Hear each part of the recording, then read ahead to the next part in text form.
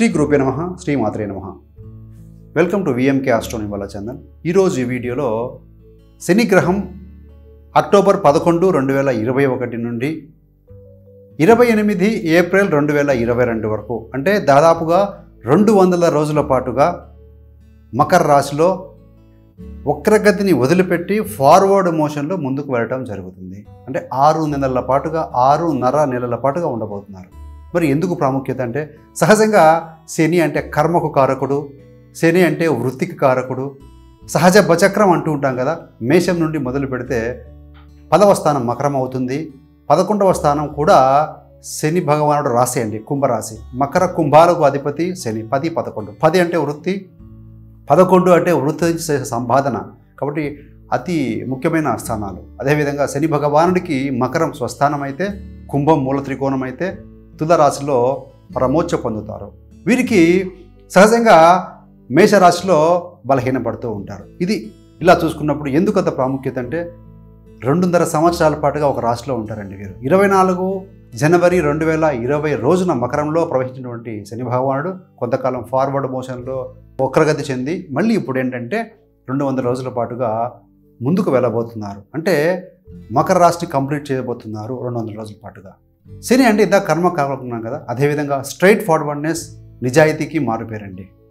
గురుడు జీవకారకుడైతే శని కర్మకారకుడు. ఈ శని భగవానుడు శరీరంలో కాళ్ళను ఇండికేట్ చేస్తారండి. అదేవిధంగా మానవులలో జ్యేష్ఠ సోదరుడిని అన్నయ్యని కూడా ఇండికేట్ చేస్తూ ఉంటారు. అన్నయ్య పరిస్థితి బాగలేదంటే ముందుగా పదకొండో స్థానంతో పాటుగా శని భగవాన్ చూడాల్సి ఉంటుందండి. సో ఈ విధంగా ఉంటుంది.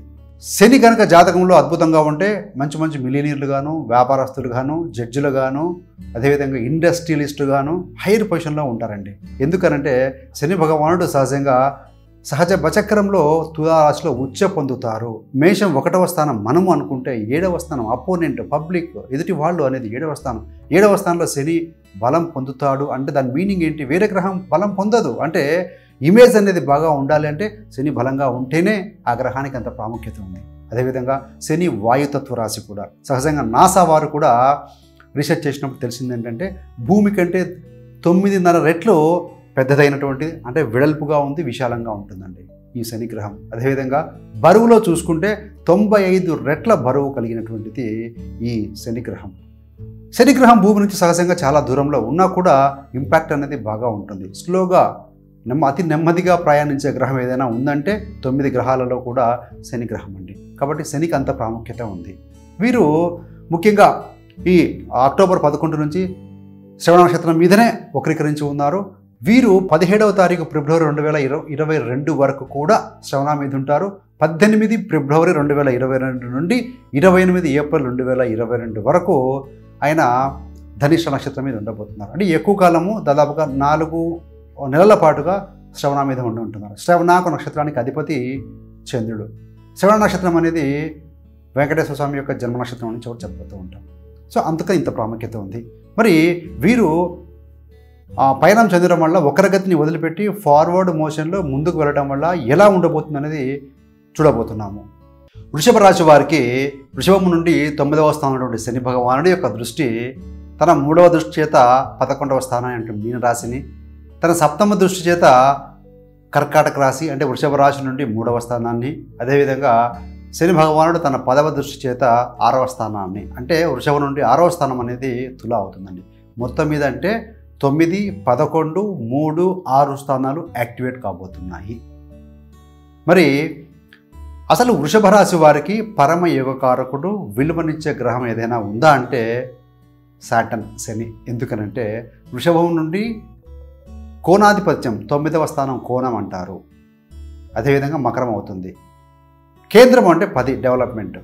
కాబట్టి రెండిటికి శనికి ఆధిపత్యం వచ్చింది. పైగా శుక్రుడికి పరమమిత్రుడు కూడా శని భగవానుడు. కాబట్టి ఈయన బాగా యోగించే గ్రహం అండి. అలాంటి శుభగ్రహం వక్రీకరణ వదిలిపెట్టి చేత నక్షత్రం మీద వక్రీకరించున్నాడు. వక్రీకరించడం డైలమా. Little bit slow. అంటే మంచి ఫలితం ఇయ్యే ముందు ఇచ్చే ఇవ్వబోయే ముందు తీసుకునే స్టెప్ అనమాట కాబట్టి ఎలా చెప్పాలి అన్నప్పుడు ఒక ట్రిపుల్ చెంపులో కానీ లేకుంటే క్రికెట్లో ఒక బౌలర్ బౌలింగ్ వేసే ముందు స్పీడ్ అందుకునే ముందు వెనక్కి వెళ్తూ ఉంటారు. అంటే అది రెట్రగ్రేషన్ మోడ్ అక్కడ నుండి ముందుకు వెళ్ళేది ఫార్వర్డ్ మోషన్ ముందుకు వెళ్ళ రావటం. అంటే ఇంతకాలం స్లోగా ఉన్నటువంటిది నిర్ణయాలు డైలమాలు ఉన్నటువంటివి స్పీడప్ అవుతాయండి. అదేవిధంగా మూడు ఆరు పదకొండు స్థానాలని ఉపచయ స్థానాలు అంటాం. దుష్ట గ్రహాలు సహజంగా కుజ శని రాహు కేతు శని కుజ ఇలాంటి రవి ఇలాంటి గ్రహాలు కనుక ఉపచేస్తామనంటే మూడు ఆరు పదకొండు సంబంధం వస్తే డెవలప్మెంట్ బాగా ఉంటుందండి. ఇక్కడ ఎక్కడ ఉన్నారు? తొమ్మిదవ స్థానంలో ఉండి పదకొండును మూడును ఆరును చూస్తున్నారు. కాబట్టి మంచి డెవలప్మెంట్ ఇస్తారు. అదేవిధంగా జన్మరాశిలో రాహు ఉచ్చ స్థితిలో ఉన్నారు. ఆయన కూడా అక్టోబర్ ఐదో తారీఖు నుండి రవి నక్షత్రం మీదకి వారు ఆల్రెడీ రావడం జరిగింది. కాబట్టి ఎలా ఉంటున్నాయి ఫలితాలంటే ముఖ్యంగా మీకు అదృష్ట విషయంలో అదృష్టంగా రాబోతుంది. ఎందుకంటే పదకొండవ అధిపతి గురుడితో కలిసి శని తొమ్మిదిలో ఉన్నారు. అంటే ఇక్కడ ఏమవుతుందన్నప్పుడు తొమ్మిదవ స్థానము పదకొండు అన్నప్పుడు తండ్రి నుంచి సహకారం తండ్రి గారి వద్ద నుంచి రావాల్సిన ప్రాపర్టీస్ ఏవైతే ఉంటే రావటము అదేవిధంగా పదకొండవ స్థానం అంటే నెట్వర్క్ ఫ్రెండ్స్ బహుదూరం ఈవెన్ విదేశీ కూడా రండి. సో ఈ రంగాల్లో ఇవి వీటన్నిటి నుంచి కూడా మీకు లాభం చేకూరుతుంది. అదేవిధంగా మీకు మంచి సర్కిల్ పెరుగుతుంది. ఎలాంటి సర్కిల్ అంటే శని దృష్టి మూడవ దృష్టి పదకొండవ స్థానం మీద. అంటే మంచి స్పిరిచువల్ పర్సన్స్ తోటి ఆధ్యాత్మికతలో ఉన్నటువంటి వారితోటి పరిచయాలు ఏర్పడతాయి. రాహు దృష్టి కూడా ఉంది కదా రాహుతో కానీ చెడు స్నేహాలు వచ్చినా కూడా పక్కనే గురుడు ఉన్నారు కాబట్టి కట్ చేయడం జరుగుతుంది దూరం చేయడం జరుగుతుంది. కాబట్టి నెట్వర్క్ పెరుగుతుంది సర్కిల్ పెరుగుతుంది తండ్రి నుంచి లాభాలు రాబోతున్నాయి. ఫోర్ ఫాదర్స్ యొక్క ప్రాపర్టీ కూడా రాబోతుంది.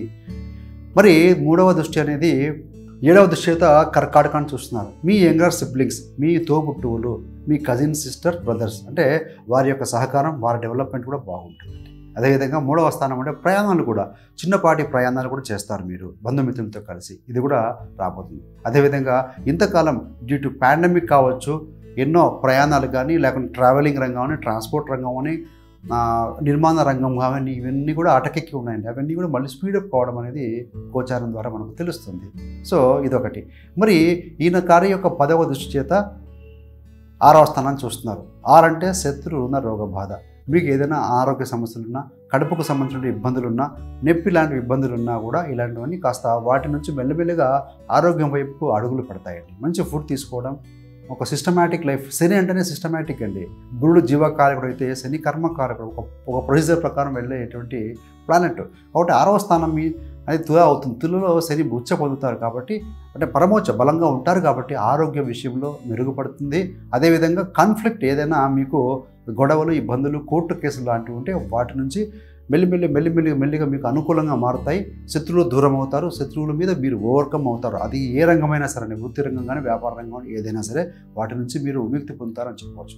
అదేవిధంగా గురు శని కలయిక ధర్మకర్మ యోగం అనేది తొమ్మిదవ స్థానంలో నవంబర్ ఇరవై వరకు ఉంది. కాబట్టి ఏంటంటే ముఖ్యంగా ధర్మాత్మ ధర్మాత్ములు అనిపించుకుంటారు. కొంత అంటే నీతి నియమంగా ఉండటము అదేవిధంగా గురువుల యొక్క బ్లెస్సింగ్స్ తీసుకోవడం సర్వీస్ చేయటము ఆధ్యాత్మిక విషయాలు ఎందుకు బాగా పాలు పంచుకోవడం వారి యొక్క బ్లెస్సింగ్స్ తీసుకోవడం టీచర్స్ కావచ్చు గురువులు కావచ్చు ఈవెన్ మీకు ఏజ్లో చిన్నవారైనా సరే వారు ఏమైనా సలహాలు ఇచ్చే వారందరూ కూడా గురువుగా భావించాలి. కాబట్టి ఈ రకంగా చూసినప్పుడు అది ఆ- అష్టమాధిపతి కూడా తొమ్మిదిలో ఉన్నారు కాబట్టి occult science reiki numerology astrology ఇలాంటి వాటి మీద కాస్త ఇంట్రెస్ట్ అనేది మీకు కలుగుతుంది. సో ఏది ఏమైనా చూసినా కూడాను కొంచెం మంచి పాజిటివ్ ఫలితాలే ఉన్నాయి. వృత్తి విషయంలో కూడా ఇక్కడ పదవ తొమ్మిదిలో ఉన్నారు కాబట్టి వృత్తి ద్వారా లాభం ఏర్పడుతుంది. కాకపోతే పదవ స్థానానికి వెనుక స్థానంలో ఉన్నారు కాబట్టి వృత్తి ద్వారా ప్రయాణాలు కొంతమంది విదేశాలకు వెళ్దాం అనుకున్న వారికి కూడా విదేశీయానం కూడా బాగా కలిసి వచ్చే అంశంగా చెప్పబడుతుంది. ఏదేమైనా కూడా శుభ ఫలితాలు బాగా కనపడుతున్నాయి. మరి రెమెడీస్ విషయంలో ముఖ్యంగా sky blue white silky white ఇలాంటి మీరు బట్టలు ధరించడం అదేవిధంగా నెంబర్ ఐదు ఆరు ముఖ్యంగా తీసుకోండి. తొమ్మిదవ నెంబర్ను అవాయిడ్ చేయండి. రెడ్ కలర్ని ఎరుపు రంగును అవాయిడ్ చేయండి. బాగా ఉంటుందండి. మరి రెమెడీస్ విషయంలో ముఖ్యంగా శని భగవానుడు చంద్ర నక్షత్రం మీద ఉన్నారు.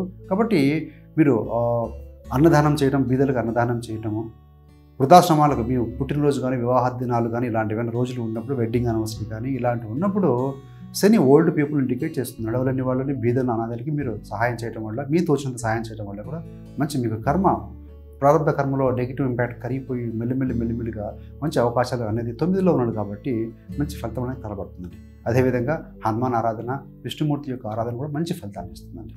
సో ఇది అండి వృషభ రాశి వారికి శని భగవానుడు మకర రాశిలో రెండు వందల రోజుల పాటుగా ఫార్వర్డ్ మోషన్లో ముందుకు వెళ్ళడం వలన జరగబోయే శుభాశుభ ఫలితాలు.